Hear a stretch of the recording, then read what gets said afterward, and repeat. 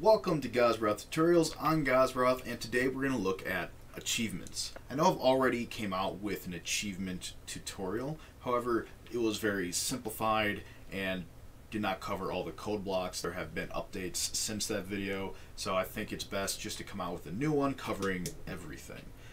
So in front of me I have an achievements panel. I have three achievements already created and I have a cube with a trigger inside. If we go into preview mode, we have our script gizmo and our achievement gizmo. On our achievement gizmo, we can change the displayed name, we can change the number of entries per page, which ranges from 1 to 5. I have our trigger attached to our achievement tutorial script, and then our attributes. Before we get started, we're going to go into our menu, click on Systems, and then Achievements. We have three achievements. It's in order to create one, you just click here and a new window pops up. Go to edit and you can change that information. So we have tutorial 01 as our ID, name a simple one, description, we can give it an image if we like, and then we have our achievement type, simple or tracked. If you hover over this I, it gives you a little more information. Simple achievements have to be manually set, and then tracked achievements will automatically pop based off of a PPV. So if we click on tracked and scroll down, we have a tracked PPV that I have created, and then the completion threshold is set to 5. So under player variables, so you can click create variable, give it a name, it will be a number. You can edit them, change the name. Under events, we scroll all the way down, we have a event that will run when the player completes an achievement. We'll get the player's name and the achievement ID. Then under actions, we can set the achievements that will be displayed on the gizmo. Without this set achievement displayed on gizmo code block, these will always be displayed. However, if we don't want them to, or if we only want a certain amount to, we can use this to change the starting amount. So it has to be a string list, and the values will have to be the script ID. So we can just pull this in here, and if I reset the world, go to console and reset, and now our gizmo doesn't show any achievements.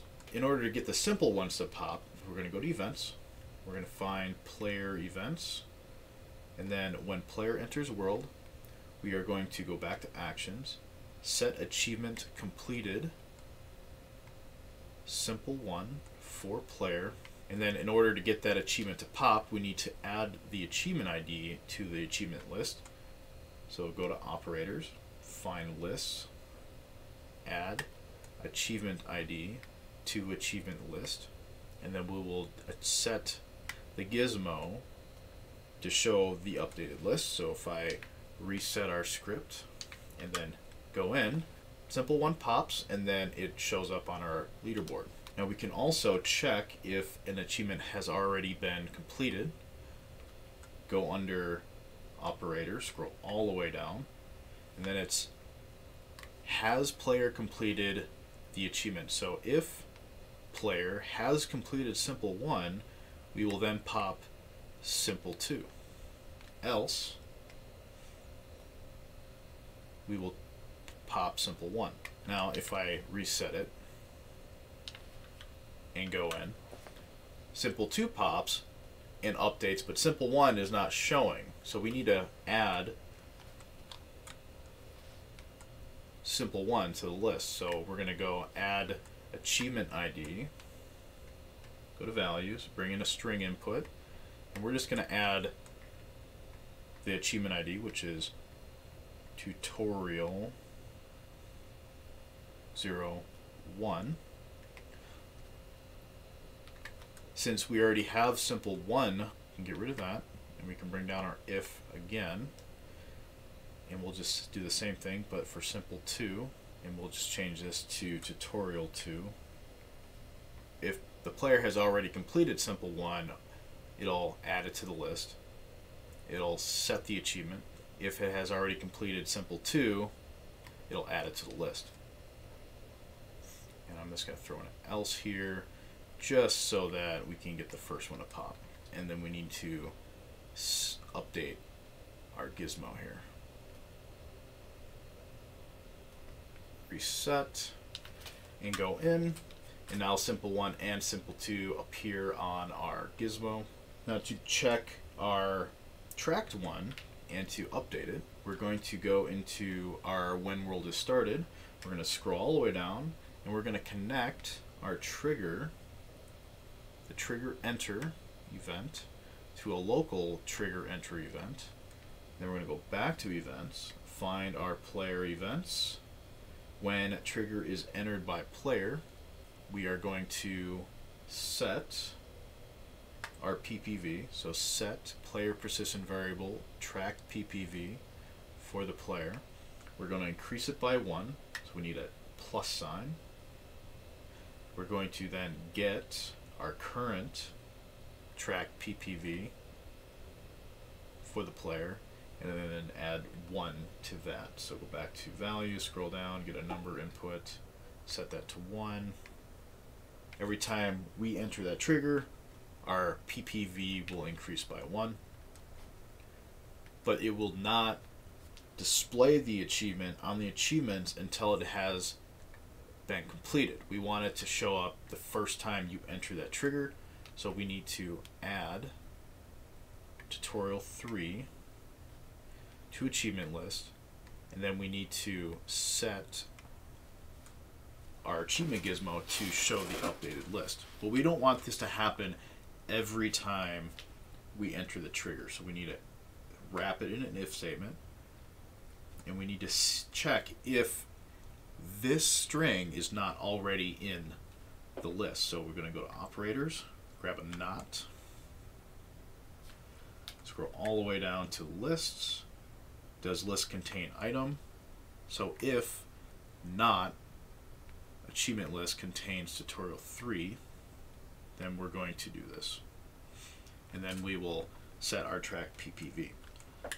So now if I reset it and go in, simple 1 and simple 2 appear. And if I add my put my hand in it, we have an update. So now it says tracked 1, this is a tracked achievement, 1 of 5. And we get this little green indicator, like a fill around the achievement. Or picture, if we had a picture, these uh, would actually be the picture that we take.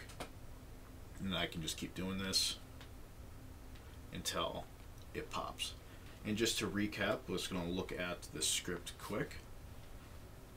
When world is started, we are setting our achievement gizmo to show an empty list, which is this list here with zero items. We are connecting our trigger variable to the trigger enter of this trigger to the local event trigger enter, which is this event here. So when the player enters the trigger, it's checking if the achievement list does not already contain tutorial 3. If it does not, we're going to add it to the list. We're going to set our achievement gizmo to show the updated list, and then we're going to increase our tracked PPV by 1 for the player. Now when the world is entered by the player, we're going to check if the player has completed Simple 1. If so, we're going to add Tutorial 1 to the achievements. We are going to set the achievement Simple 2 complete for the player, and then we are going to update our gizmo with the updated list. For setting achievements, you can set them as not completed by just toggling the true to false. So now if it has completed simple 1, now it will toggle simple 2 as off. If the player has not completed simple 1, we are just going to set simple 1 complete for player and then it's going to check if the player has completed simple 2 already if so, we're going to add tutorial 2 to the achievement list and then update our gizmo. When achievement completes for player, we're getting our player, we're getting our achievement ID. This runs for all three of our achievements. It's going to add the achievement ID to the achievement list and then update our gizmo. So now when I reset it and go in, 1 and 2 will pop, the tracked one will not because we're not checking for it. We all we have to do to fix that is just copy and paste this if, change it to tracked one, and then change this to three. Hit enter, reset, go in, and now all three are showing. If you have any questions, comments, or concerns about this video, or have any suggestions for future videos, please let me know in the comment section below. If you like the video, if you learned something, please hit that like button, subscribe, and click on that notification bell so that you are notified of all future videos. My goal for the year is a video a week. So far we are reaching that goal, so wish me luck. Thanks for watching the video and have a good one.